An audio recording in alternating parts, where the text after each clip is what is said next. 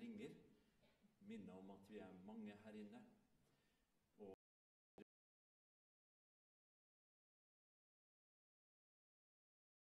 Galleriet er det det bakerste vinduet.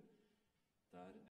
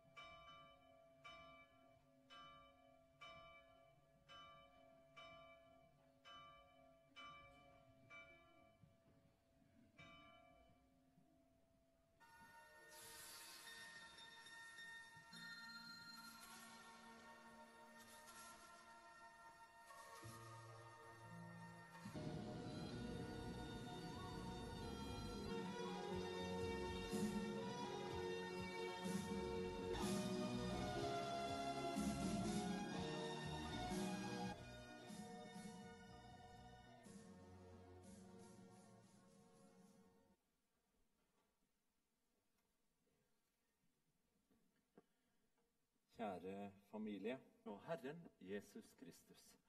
Amen. Vi er samlet, og vi er her for å ta avskjed med Jon. Jon Michelet. Selv om Jon ikke var her så ofte, så er han antagelig den som Jon var tydelig på sin livsanskuelse. Han fant det vanskelig å tro på en Rolling Stones. Så sier Jon Min tanke skal ikke være størkna, jeg vil være i oppets sted. Et sted å møtes i glede og i sorg. La oss be sammen. Evighet og til evighet er du, Gud. Du lar mennesket bli til støv igjen og sier, vend våre dager, så vi kan få visdom i hjertet.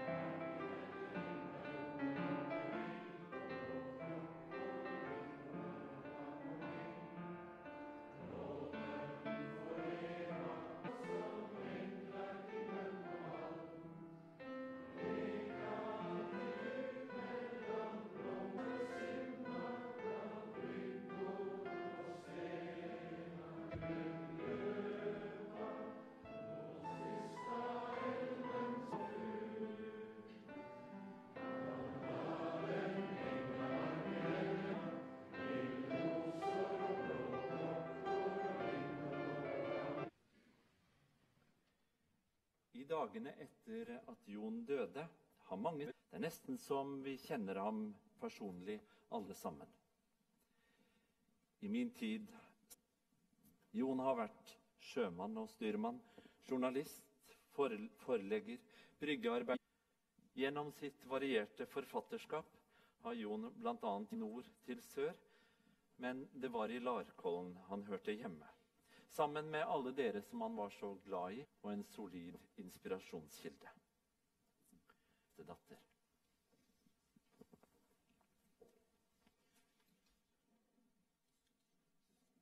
Og i kulturlandskapet på storgården Evje. Ivan, pappas bestefar, drev gården til han gikk konkurs på huset pappa kjøpte tilbake i 1986.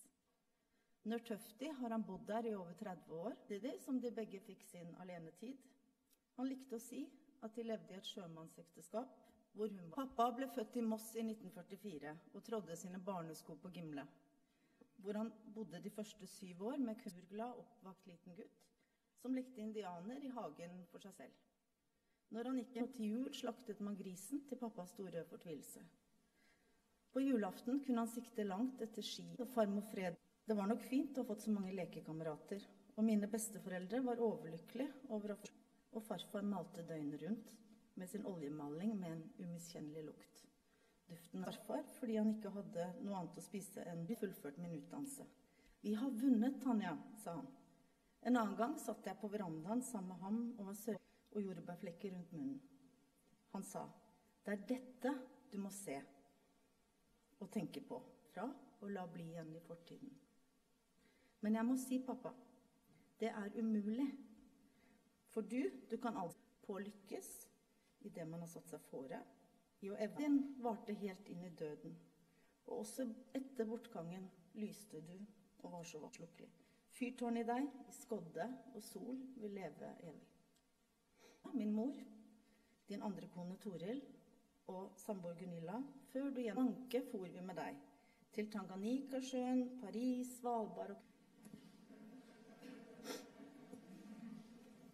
Og så var det Det var på fisketur under magiske opphold ved Tyrifjorden med bryggearbeidernes feriehjem. Du syns var litt råflott. Du ble gal av oss. Tre etter hvert fem, så strang du var glad i å ta oss med ut og spise gjennom hele livet. Skar du som vanlig igjen på du bedyret. Kan alle holde kjeft nå, så vi kan ha det hyggelig? På side kunne han titt og ofte bli irritert, brekke bilantenna, for så Eller hadde stappa piperensere i skrivemaskinen, blodderen. Alltid overbegeistret. Nøret opp under våre individuelle interesser. Martes journalistikk og politisk engasjement. Torils solidaritetsarbeid i Afrika, som førte oss alle til elskede journalistikk i Klassekampen, Gunilla som rektor på Filmhøgskolen i Gøteborg. Barnebarnet Julias jusstudier. Barnebarnet Leilas viktigste interesser ble spredt ut og videreført gjennom oss. Tilbake på Ullern. Eller livet. Hvordan han fikk rollen som en Oslo Vest-gutt. Han nevnte skole fordi han gikk i en hjemmelaget Brando-inspirert oljeskinnsjakke problemer. Til tross for dårlige karakterer. Og så kom back og fullførte på dødsleiet. Ingenting kunne stoppe denne mannen. På sykehjemmet langt borte, for så å lose oss i havn, så vi sto parat rundt sengen hans da han trakk sitt siste sukk. Nok? Neppe. Vi kunne ikke hatt en bedre pappa en fiesta, og det syns du var et langt dårligere ordvalg. Men skulle det beskrevet livet ditt, ferdighet og skjevfordeling, og du fikk til alt du satt mørket og mer passende for hva vi føler nå, er som en annen tittel du var glad i. Tennessee Williams' 'Lang dags ferd mot natt'. Vi lengter etter lyset ditt.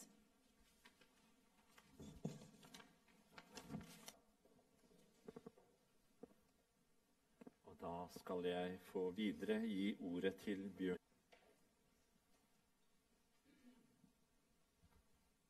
Kjære familie, kjære alle sammen. En krigsseiler sa nylig til meg at den viktigste grunnen til det er Jon Michelets store innsats. Krigsseilernes innsats kjent.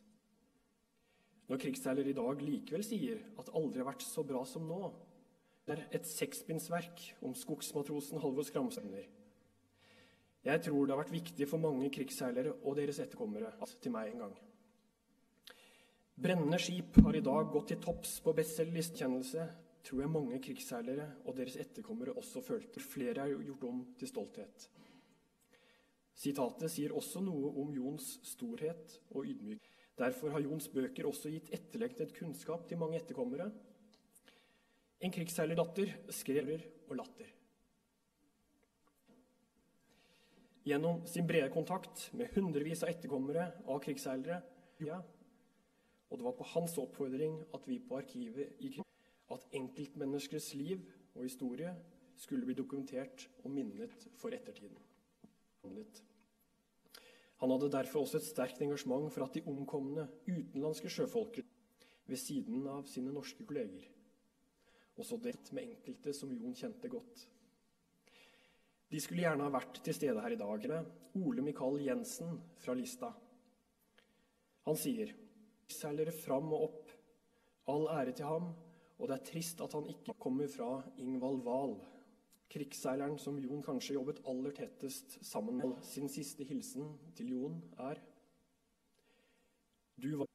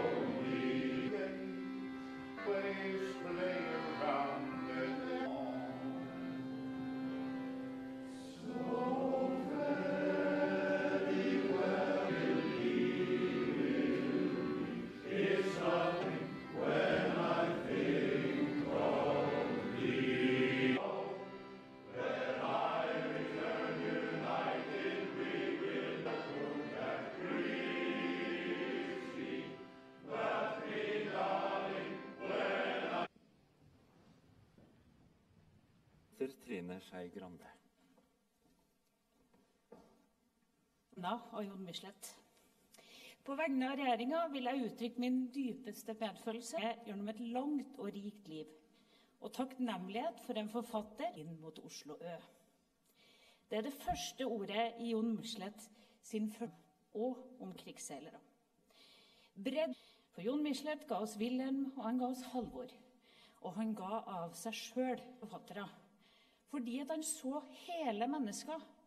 Han så følelser også i det. Michelet brukte litteraturen til å formidle levde liv fordi at han sjøl slett talte for de ufrivillige tause. Og den arven står i verket om krigsseilerne. Brukte han penna til å løfte fram dem som forfatter hadde nok klart bedre. Men sjøl om dem, så lever historiene videre. Jeg vil takke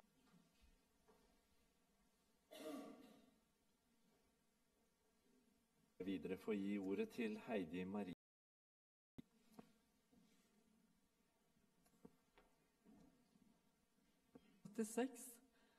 Etter debutromanen 'Den drukner ei som henge skal', som kom 40 bøker og har betydd så mye for så mange. Ti år siden skriver Michelet jeg er så heldig. Han skriver også samme sted. Ytre sett har jeg levd et rikt liv. Har jeg gjort det bra. Det er ikke mange forfattere gitt å få skrevet mer enn 30 bøker. En nagende uro over at jeg har fått gjort så lite. For bare uker siden fullfører han sjette bind i serien En sjøens helt. Forlag tar imot andre nye forfattere og ansatte. Jon Michelet diskuterte engasjert, og sånn jeg opplevde det. Engasjert, interessert. Vi er mange som vil Foran meg ligger et usikkert farvann, men jeg har intet annet valg enn å seile det. Men så håper jeg at også leserne vil si. Bon voyage. Det er med vemod at jeg hilser også de etterlatte og pårørende, familie, venner, kollegaer og lesere.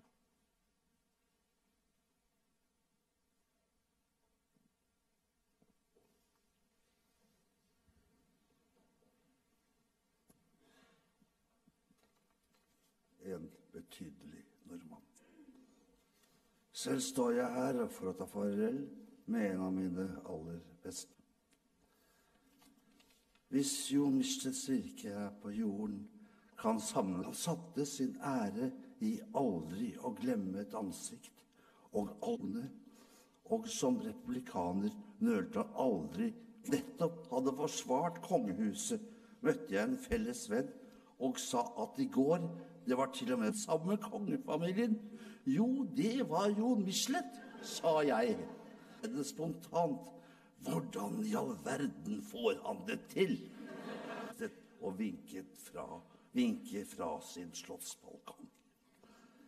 Ja, han var en sann og saktmodig, men standhaftig i motgang. Og motgang hadde han nok av sette i gang med en romanserie seks bind om våre sjøfolks krigsinnsats under en annen verden. Og jeg har ennå ikke møtt noen som ikke har funnet han denne, som ikke har unnet halvannet år hans liv ble merket av hans kamp mot døden og for å rekke å fullføre. De av oss som møtte ham hele til å kjempe seg ferdig, bokstav for bokstav. De var jordiske redskap videre til kommende generasjoner.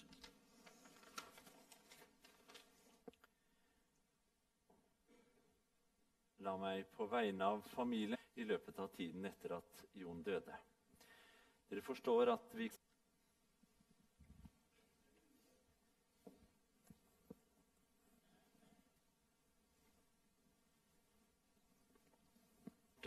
Ellen og Stella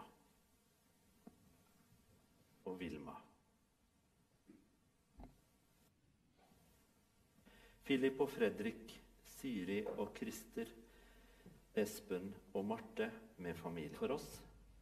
Fra Ragna, Henrik, Rune, Morten. En siste hilsen fra familien Furu. En siste hilsen fra din venn Ingvald Wahl.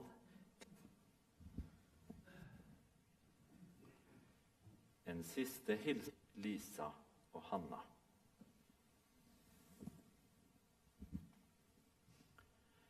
Vi tenner et lys for Jon.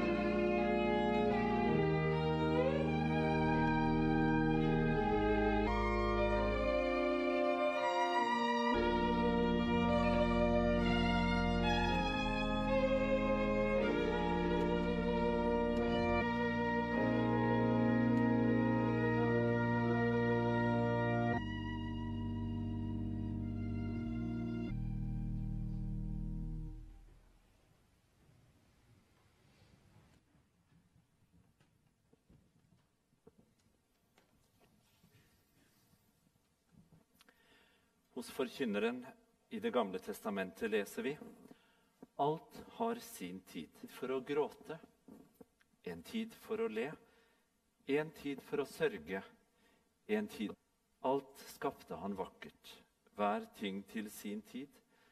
Ja, alle tider har han lagt i mennesket, og ingen kan trekke noe fra.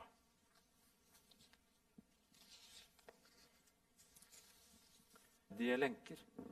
Sprenge båndene i åket. Sette undertrykte fri og bryte hvert åk i stykker. Skal ikke snu ryggen til dine egne. Og Paulus bryter ikke, er ikke hovmodig. Kjærligheten krenker ikke, søker ikke kjærlighet i slutt. Profetgavene skal bli borte. Tungene skal tie og kunnskap stykkevis. Men når det fullkomne kommer, da skal vi se ansikt til ansikt. Nå forstår jeg tro, håp og kjærlighet, men størst blant dem?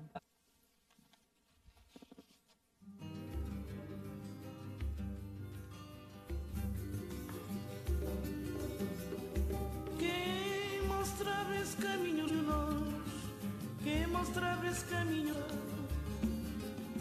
Saudade, minha terra, saudade, minha terra, San Inclau. Esse caminho passando bem.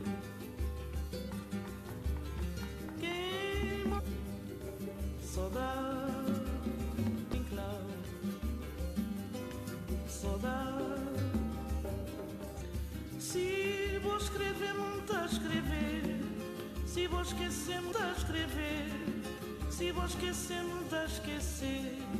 Até saudade desse minha terra, saudade desse minha terra, San Nicolau.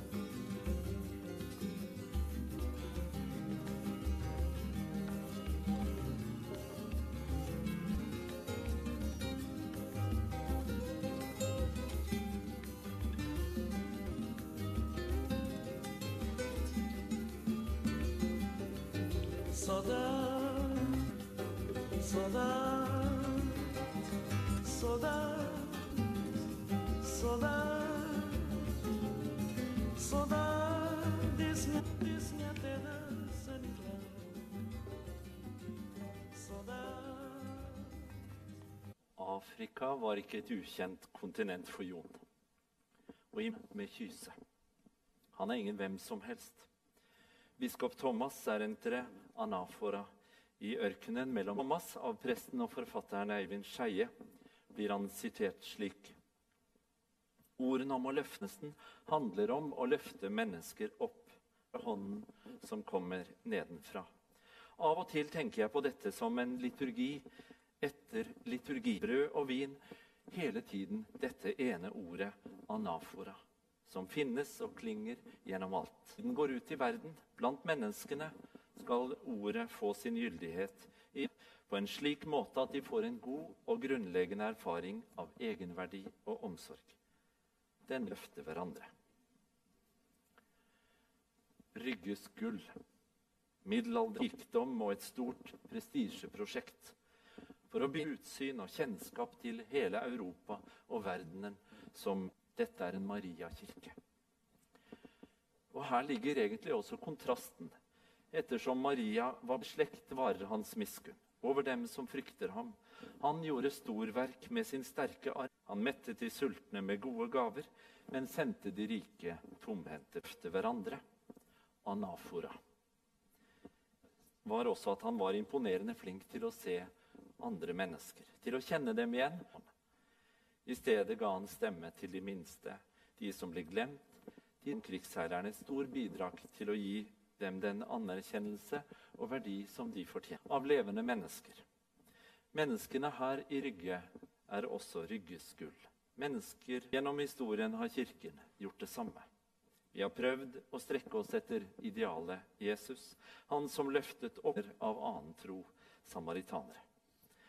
Og det var han som sa, salige er de ydmyke, for de skal av rettferdigheten, for de skal mettes. Salige er de barmhjertige, kalles Guds barn. Salige er de som blir forfulgt for rettferdighets skyld, for himmelriket skal vi løfte opp de lave. Vi er Guds hender anafora. Amen. Vær nær med din fred. Styrk oss i troen. Gi oss fremtid, du som har skapt oss i ditt bilde og gitt oss Jesus Kristus som vår bønn. Vår Far i himmelen. La navnet og tilgi oss vår skyld, slik også vi tilgir våre skyldnere. Og.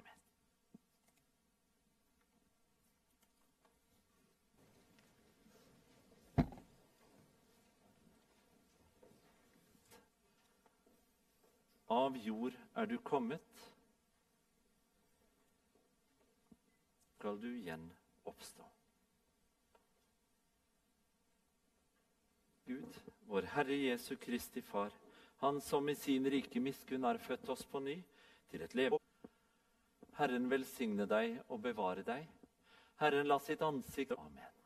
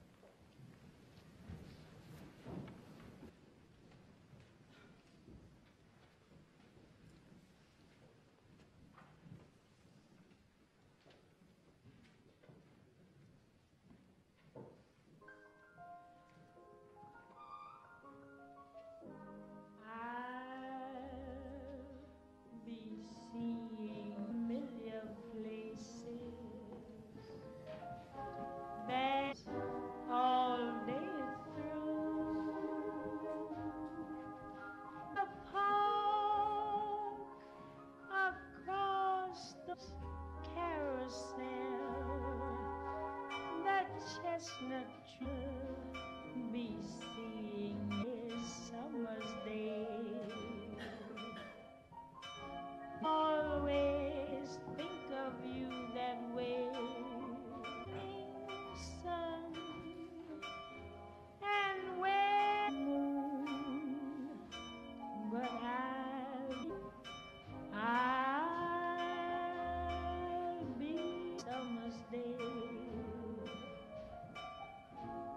என்னை